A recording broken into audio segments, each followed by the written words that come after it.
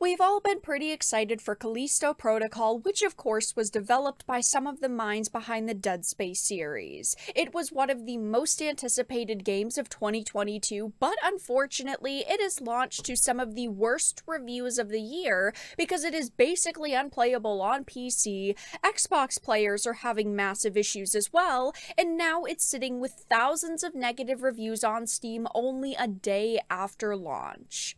I have a few things to show off, but before we get into the topic at hand, if you enjoy the content that I create, please make sure to subscribe to the channel and hit the notification bell. Follow me on social media like Twitter or Minds so that you can see when my content is posted. And of course, if you do enjoy the videos and the live streams that I create, please consider becoming a Dark Titan via Patreon for just a dollar a month or support the channel via YouTube memberships.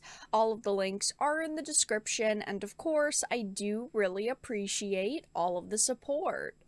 So let's start with this SlashGear article. It says the Callisto Protocol being slammed with negative reviews on Steam. I was so disappointed when I heard that this was yet another game launching with massive problems. This is yet another game that needed like six months to cook. The developers needed like another half a year with it. But of course, we see companies rush products out in time for the holidays so that they can make more sales.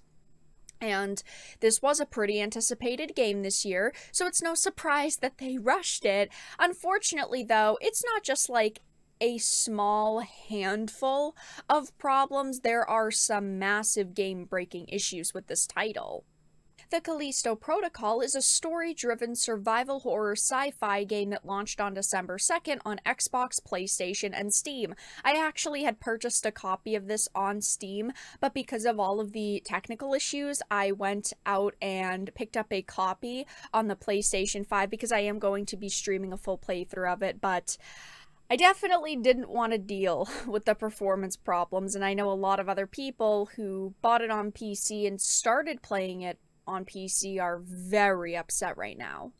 It says while there are many reasons why video games get bad reviews, the main focus of bad reviews usually relates to poorly executed gameplay and mechanics, an in-game currency that turns it into a pay-to-win experience, bugs in performance, or simply failing to deliver a complete game. Some of these problems are of course fixable after launch through updates and patches, and in recent years game studios have become notorious for abusing the live service model by delivering an incomplete or buggy game at launch only to send out an update a few weeks later correcting some of the biggest problems. Now, this game isn't a live service title, it doesn't have any pay to win in it, but all of these other issues that are listed, the game is suffering from.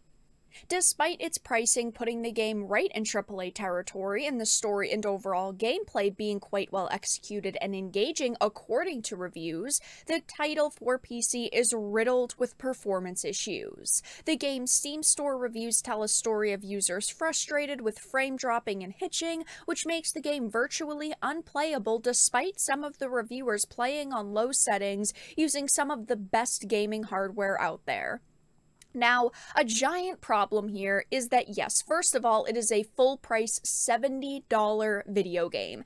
It should be launching with little to no problems. Of course, a bug or glitch here and there is bound to happen, but some people can't even get past the first few opening scenes because of how poorly it's performing. The game is unplayable for most people, even at the lowest settings with half decent PCs, and even when you have a high end PC, people can't run it at the highest settings. It is unacceptable when indie and AAA developers release games in this state and they get no passes from me. Of course, we're all very excited for it, so we all want to hope that they're going to fix it soon. I know that they've rolled out a small patch already, but these issues are still persistent. They are going to have to do a lot of work on this title. And going on over to Steam, as you can see, the game is not doing well. It only launched yesterday and it's already sitting at over 10,000 reviews.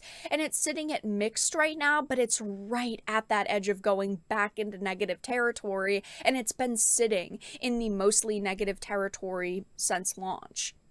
A lot of the recently posted reviews are very positive. It seems like people are trying to review this game positively so that it doesn't sit in the negative range, which if you like the game, that's great. I'm glad for you. But you can't ignore the issues that other people are having just because you may not be having them or you were very excited for this title. It's unfortunate, but this game didn't launch in a good state. They wanted to rush it out in time for the holidays. Uh, looking at some of the in the past day reviews, though, most are negative. People are very upset, very disappointed. The first one says not recommended. I need to state this first before anything else. You get to a checkpoint, you upgrade your weapons, you go somewhere else, you die, it brings you back to that checkpoint before you even did those upgrades. It feels very amazing. But even if that was the only problem, if you upgrade, manually save, and then load, it still doesn't save those upgrades. It's 2022 almost 2023. No game should have that type of problem. This is making you do the same things if you die over and over again. I too have stuttering and FPS issues, and they say that they even have a 4080. It says considering how the game looks good, but sometimes you get huge FPS drops for no reason whatsoever, nothing's happening on the screen, and the environment isn't supposed to be open world. Scrolling down, don't buy this game right now. It is a stuttering mess that runs poorly as of day one. I will update if they fix it and then maybe talk about the gameplay. The PlayStation 5 version also drops frames apparently, but nowhere near this. Maybe buy that one instead if you can. That is what I heard is that the PlayStation 5 version has very minor problems, but still some issues, but the Xbox and PC versions are much, much worse. It's very sad, especially for the people who don't have all of these consoles available to them. A lot of people just have a PC, that's how they game, and it's as simple as Someone said the stutter protocol. Developer crunch, check. Miserable launch that they 100% knew ran like absolute trash that they released anyway, check. Late review embargo lifting, check. Product refunded, check. This is something that a lot of people have been pointing out is that they did uh, lift the review embargo pretty late. They only released it a day before launch. And I mean, a lot of the journalists were giving it really high reviews. And I even saw journalists giving this game more negative reviews, not because of performance problems, but because they said the game is too hard, which of course is just laughable. But those people didn't say that the game was buggy, was broken, that it had these technical issues, which is very suspicious. It is very sad that this game has released in such a broken and buggy state. I hope over the next week or two they put a lot of time into a patch and the patch releases and it actually helps players out, but as you can see, it is just getting ratioed right now. I am going to be streaming it starting tonight when this video goes up, so I am going to judge it myself. We are going to be doing a full playthrough on the channel. But before we can accurately judge the last large release of the year, they've got some major issues they need to fix, and all we can do is hope they listen to consumers to quickly rectify the problems.